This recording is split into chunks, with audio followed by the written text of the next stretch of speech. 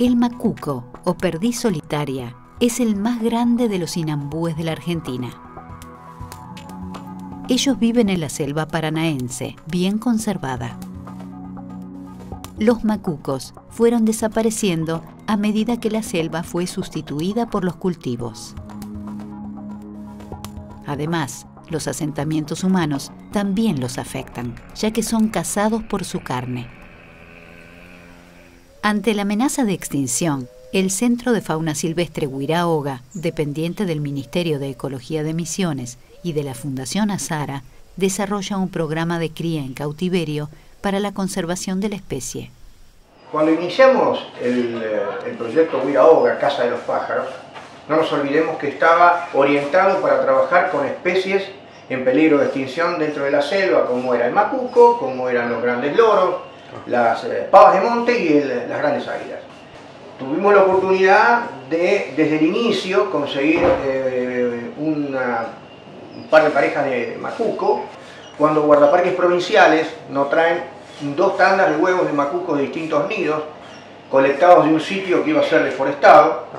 Esos huevos los colocamos en, incubadora, eran fértiles y sobrevivieron eh, la mayoría de los pichones. Ahí nacen los primeros planteles reproductores que después, al año y medio, empezaron a, procrear normalmente en cautiverio. Uno de los problemas de la cría de macucos es su territorialidad. Para evitar conflictos, los recintos tienen diseñado un laberinto que favorece la separación entre las aves. En Huiraoga, la reproducción de los macucos sigue un protocolo riguroso para evitar el cruzamiento entre aves emparentadas. Bueno, esto que estamos viendo es eh, parte de la primera tanda de macucos nacidos a partir de julio.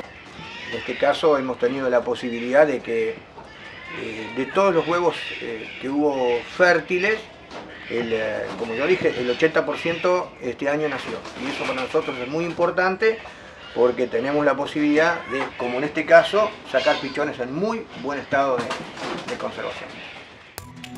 Desde el año 2007, los macucos se reproducen con éxito en Huiraoga.